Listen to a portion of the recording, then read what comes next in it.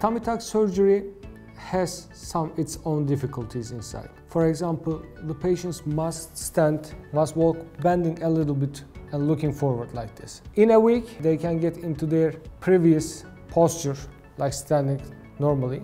But in this period of healing, they should be bending a little.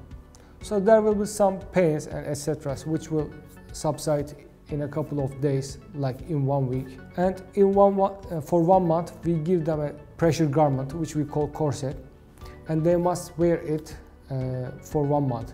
During this period, they can take their garments off, they can have their shower, and they can also wash their corsets and dry it, and they can wear it back. For returning to the normal life, it's something like uh, one week to 10 days. And when the patient can, can get back to sports or back to the gym is one, uh, one it's one month.